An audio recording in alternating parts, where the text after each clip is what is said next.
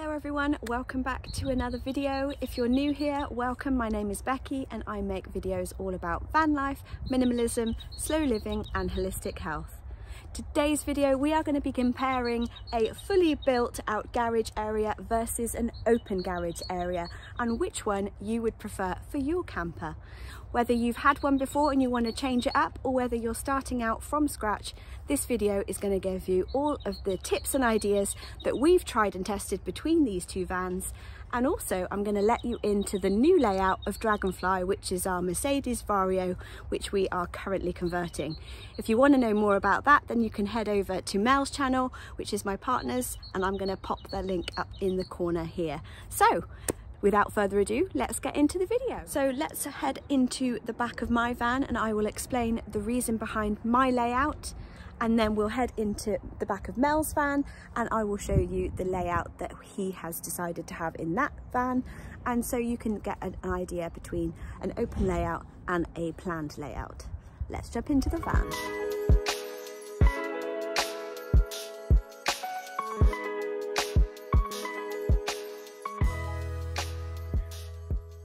So here we have the layout of my van and I specifically chose this layout for the way that I wanted to use the tailgate that I've got up here.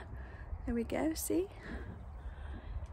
And also where I'm going to be taking this van when we travel together in Europe and the UK. I wanted to be able to have a kitchen outside here from the back. I wanted to be able to grab everything from inside the kitchen and use it outside because as you can see I've got this big drawer that pulls out here and on it is a lid which we can use as a tabletop and kitchen prep area.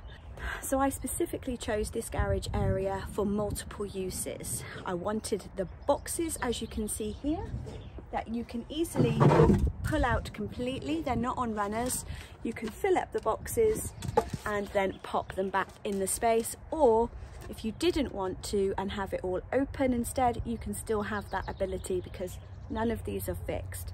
So you can, I don't know, seasonally, if you had something in a box that you didn't need for your summer travels, you could just take that box out, pop it in storage, and then you've still got a space to then use when you're on your travels. Now over in the corner here, I've got a shower area where I'm going to be keeping all of my shower products as well as the actual outdoor shower. I will be fitting a hose holder up on the tailgate. So again, this area can be used as a shower bathroom stroke area. I've got a shower curtain that magnetizes all the way around the tailgate. So that's super easy to convert this area into an outdoor shower have the privacy, have the bathroom access, but then you can tuck it all away into the cupboard and you wouldn't even know that it was there. Let's move on to the large drawer. So this large drawer has a industrial type pull-out drawer system which I bought specifically for this large capacity drawer because I wanted it to hold my massage couch so that I can work from the van and also when I'm not doing that Mel wants to be able to put his metal detectors, his diving tank and his wetsuits all in there. So it had to be super durable, take a lot of weight and withstand being constantly used. So again, we wanted to make sure that this area worked with our lifestyle, worked with what we wanted to do within the van, but still look pleasant. When you open the back doors, you can easily have everything separated and organised, so you're not scrabbling around in an open area. So let's show you the big drawer. So we've got the two sliders along with the handle at the bottom, which makes it super easy to pull out. I then asked Mel to make me a really big lid, which is not fixed, but it's just one big piece of ply, which serves as the tabletop, obviously.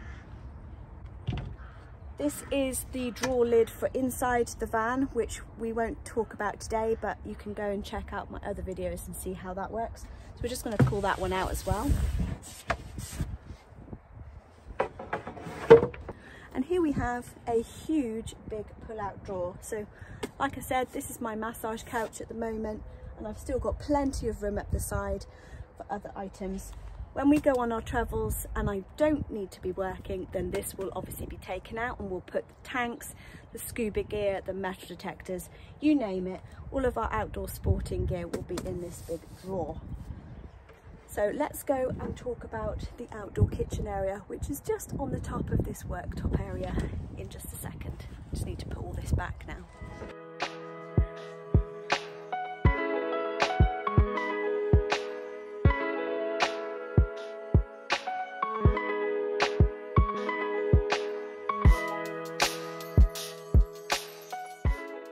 I love the fact that this drawer is super sturdy and built for industrial strength because it also means if you really wanted to you could sit on here and enjoy the view from the back of the van it has so many uses. I'm just so pleased that I decided to go for this layout. I've seen it in so many different other vans, but I didn't realise just how much I would love it until we actually fitted it in. So with that being said, it's actually going to be a new feature in our current van build, but we'll talk about that more later on in the video, so stay tuned for that.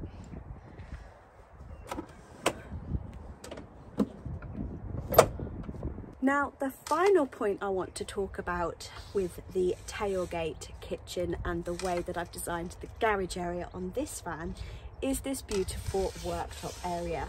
So you see we've got the backsplash here. It not only stops things from being on the work surface falling back onto the mattress because we've got the bed just right down behind there, but it also creates a nice divide between the bedroom and the kitchen. So when you're in the bedroom area, you can be sat up against this board. It gives you a nice place to sit up against. You can lean over and put your cup of tea here or something to eat or a snack if you're in the bedroom area. But then when you're cooking in this area as well, you've got a nice backboard to work against and nothing's going to spill or fall onto the bedroom area. And it also visually gives the appearance of a proper outdoor kitchen rather than it just sort of ending and going nowhere. Now with the electrical points on the top here, both left and right, it means I can pop my induction hob here, I can put my air fryer and I can cook just standing here on the top, which is more than enough space if I didn't want to use the pull-out drawer as a table. So I wanted again multiple purpose and multiple use ways for this whole area.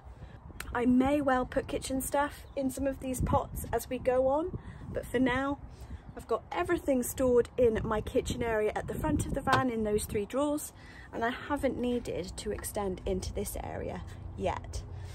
But we'll see how we go once we've actually been travelling in this and use this as the outdoor kitchen. Like anything, it always moves and it's got that adaptability.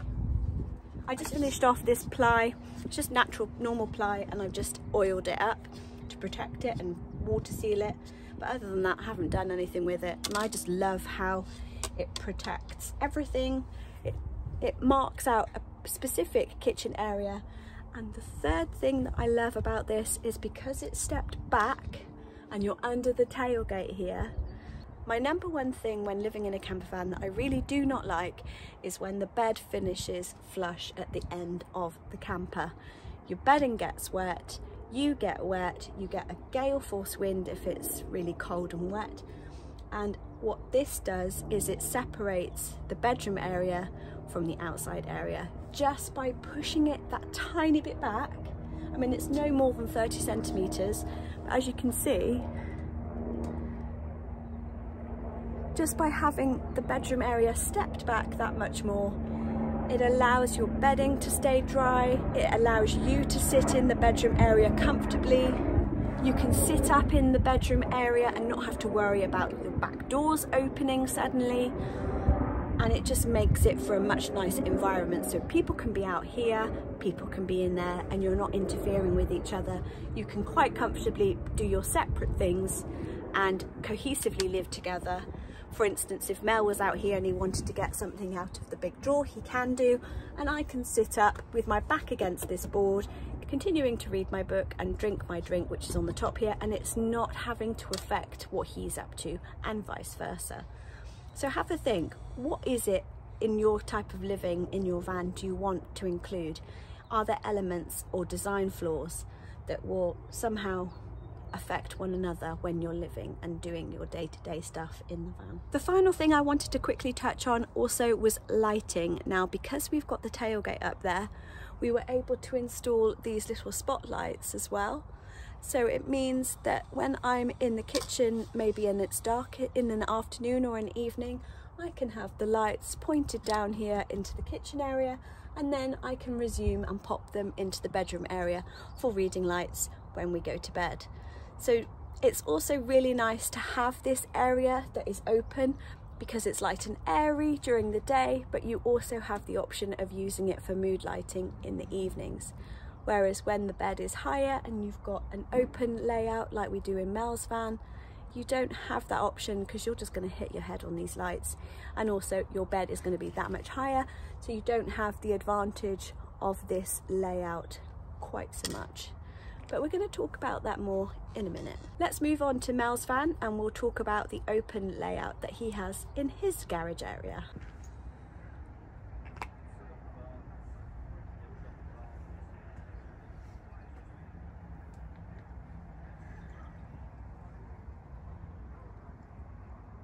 So here we are at the back of Mel's van. Mel is from Big Van Small World. He's my partner in crime. If you don't know him, then check out his channel up here. But most of you watching this video will probably know who he is. So you'll know this garage area very well over the years. But if you don't, you're in for a treat because I'm pretty sure it's going to be quite messy. He's already warned me. and there he is then. Right, let's get into Mel's garage area and have a rummage around and see what we can find. Let's also make sure that I don't bash my van with Mel's big tyre. Oh look, and there's Monty. Hello, Monty.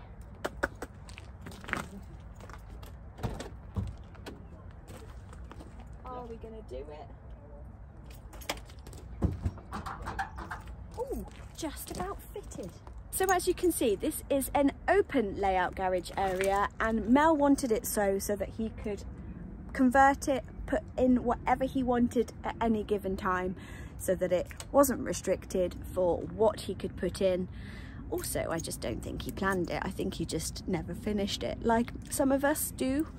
You never finish your camper van, so bless him. He's been looking after me and we've started another van build now, so who knows whether we'll ever finish this off. But So welcome to the back of Mel's van. Now Mel specifically chose an open layout partly because he wanted to be able to access the doors at the back there. So we have doors from the inside of the van that open up and allow you to lay big pieces of timber or long pieces of equipment all the way from the back of the van right into the living area and right up to the driver's seat if you wanted and I cannot tell you how many times we have found this useful. So if that's something that interests you and that you think it will be a priority in a enabling you to put something in that's long and you don't want to put it up on the bed area, maybe keep a passageway through clear, doors at the front there, so that you can have the accessibility. I mean, maybe even you have ski gear and you need the length something to consider because if you block that off you haven't got that length anymore and you're stuck. So the reason why Mel has got all of these exposed is so that he can quickly glance either the gas, the diesel the electric or the water. I don't have that option. I decided that I wanted more space for my everyday living and that I categorized the electrics and the water in different areas of the van. I can still access them, I can still check on them, but they're more of a time consuming issue rather than opening up the garage area and being able to see it all at a glance. If that's a concern for you, perhaps you need more of an open layout so you can access all of these at the drop of a hat rather than opening up one hatch to check the electrics and another to crawl under the van to check the water. It does depend on you and what your individual priorities are with the van layout. I do love the way that Mel has got this all open because it means that you can just access everything like I just mentioned, but also it's more versatile. So if you have something large that you want to throw in the back, you can. And even if it's something long, Mel has countless times needed the cut through with the doors at the front there that go into the living space so that he can run timbers in from the garage area right the way through to the driver side and many things in between that. So if you're doing a van build, for instance, this area has been essential for us to work on our other Vario build that we're currently doing. The other option is obviously that you can pop it all on top of the bed. I don't particularly like that option, but you can do it if you cover it over with a sheet or something, but it's not ideal. So if you want to have long items in the van, this layout is ideal because it gives you that option. A while back, Mel actually bought storage boxes, which we have done a previous video on. So if I can find it, I'll link it up here, where he categorized everything that he wanted in the van, including his scuba gear, his underwater metal detecting kits, his breakdown tools, you name it. It was all in its own box and we cubed it all so that we could get everything that we needed in that one area and it was leaving this whole middle section free for those boxes the other items stayed where they were, so the gas, the water, the electric, they all stayed fixed to the sides. And then this main area was all categorized in boxes. And that worked really well. So when you didn't need that particular item, you could just take that box out and the space is the same. That's a really good option if you want that versatility and you don't quite know yet what you want to use your garage area for. A lot of people I've seen have got Murphy beds at one side. So Alex Frood from Mispronounced Adventures, he has a bed that he puts away all the time, which gives him a huge galley kitchen. If you're single and you don't mind making the bed up every night, then that may be an option for you. But there's little storage area like this because of course you still need to have the gangway to get in and out. If I can find a clip of Alex's layout, I will insert it now. Now the final thing I wanted to talk about was obviously the height difference. So without having that low kitchen area, which I've got in my van, this van obviously means that you can have the bed a lot higher, which means the garage area is a lot bigger. But the only downside is that you haven't got as much headroom. So again, work out what works best for you. What do you want to have in the priorities of your van layout? I do, like I said, not like having the bed so far at the back because this mattress literally comes to the back seals of the door. So when it's raining down outside, you've got no protection and that rain just goes straight in. Also, if you'd noticed, because we have cabinets both sides of the bed area, you can't sit sideways under the cabinets. So when one of us is up in the bedroom area, chilling out and relaxing, we're leaning out against these doors.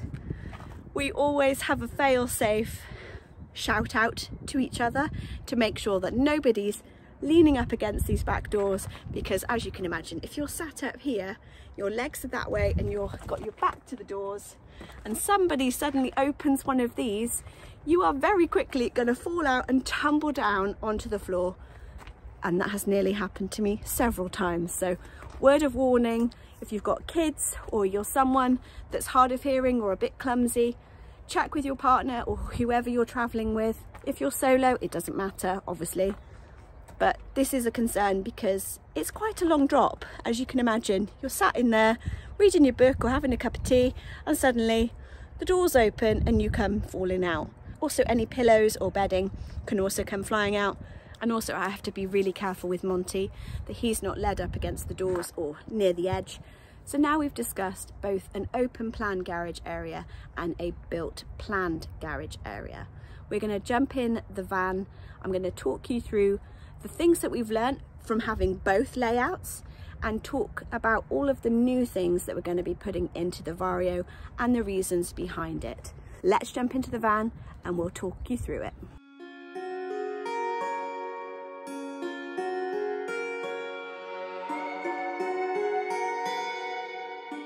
So let's start off with drawing the back of the van and I always tend to just do it in a square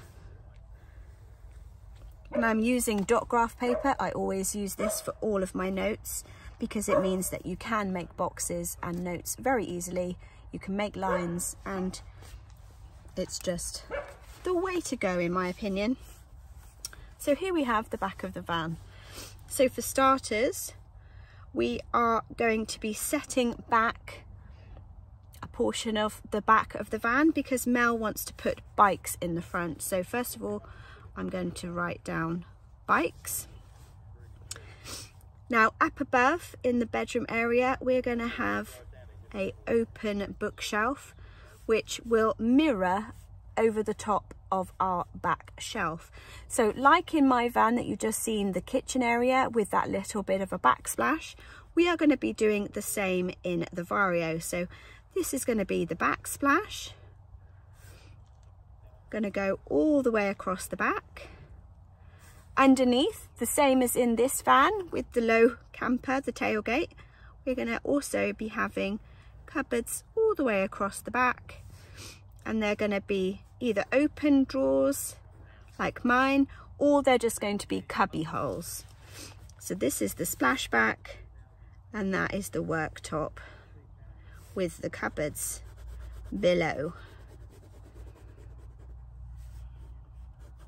This is the bookshelf which is going to be closed from the back end of the garage. So this will just be a solid bit of timber.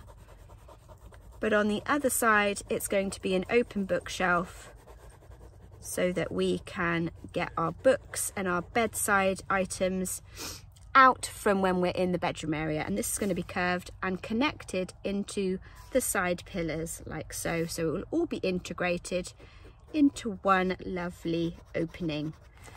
So as you can see it's already taking shape.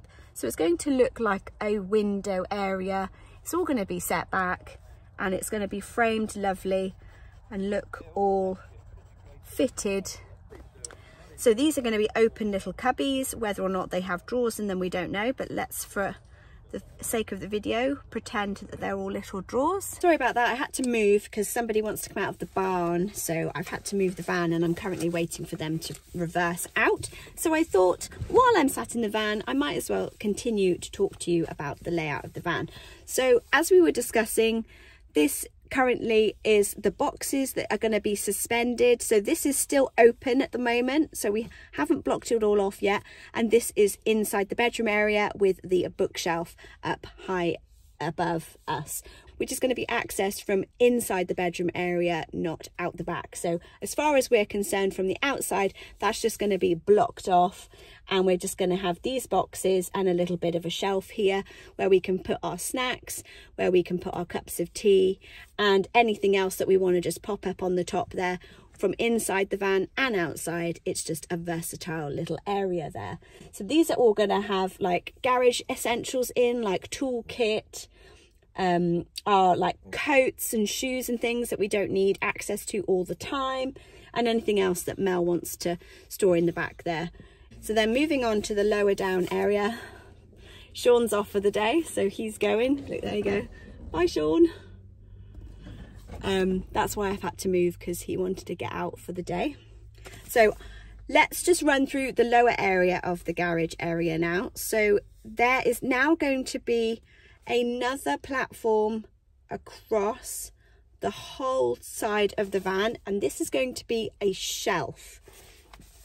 Now the reason for this is because below that there is going to be one big massive pull out drawer which is going to be on high strength draw runners and that is going to have everything of Mel's diving kit or his metal detectors, everything that we need for our underwater investigations. They're all going to be in that one big drawer so we can pull that out, have everything in one space.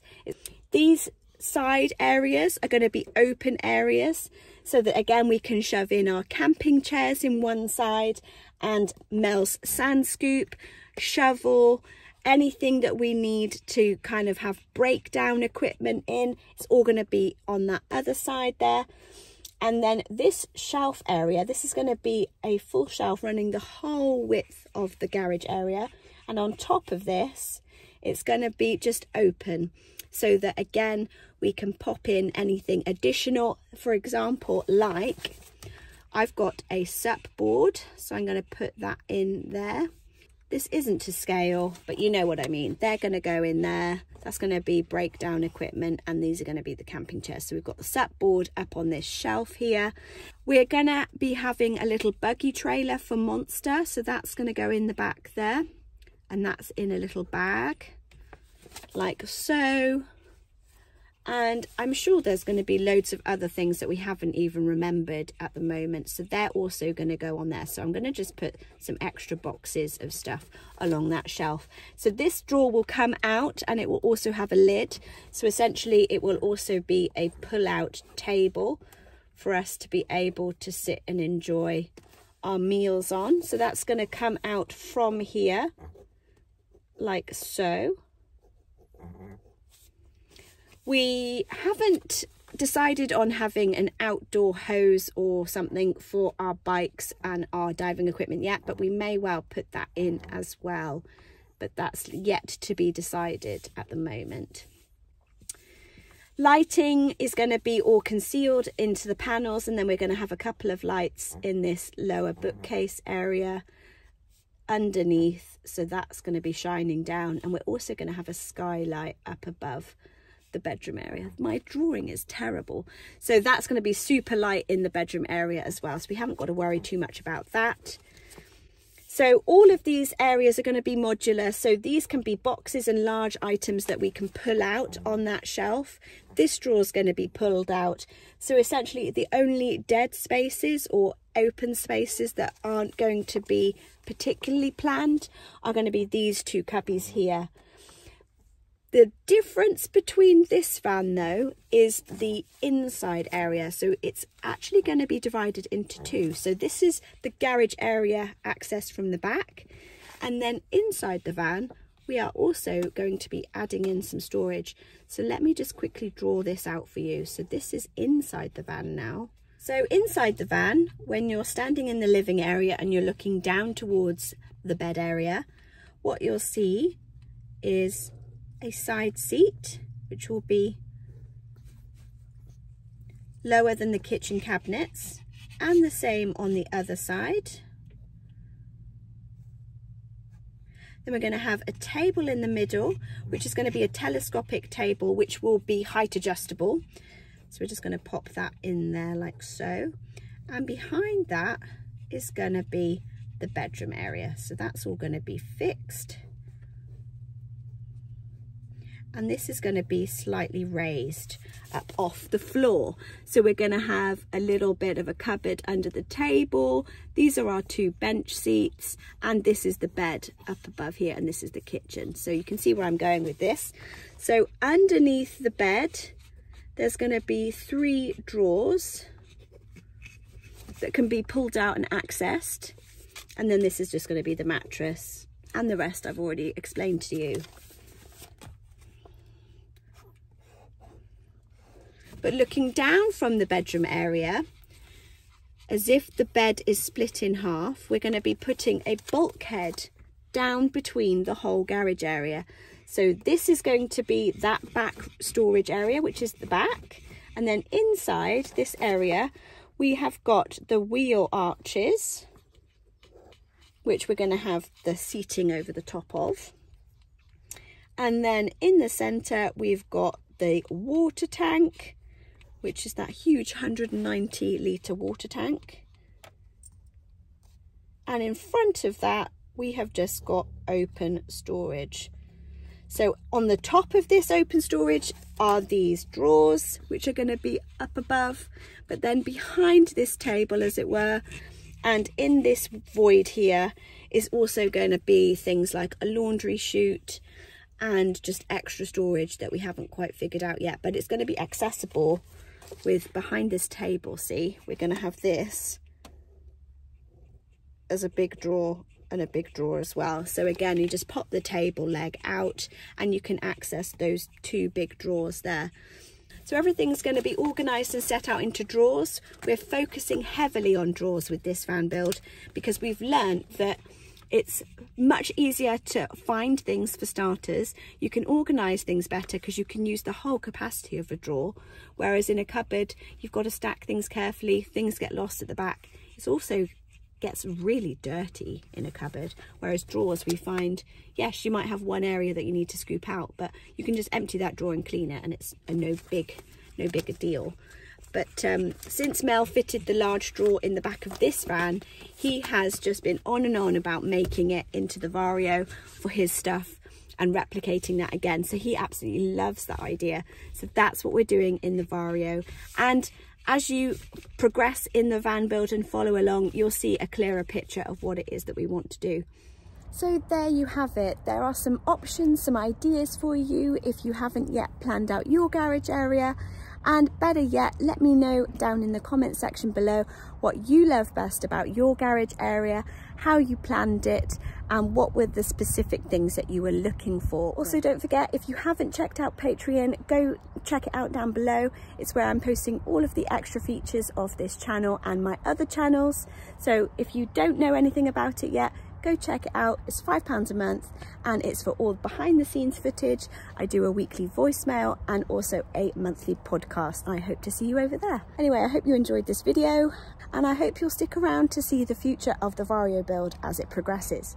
Until next time guys, breathe in life every day. Namaste.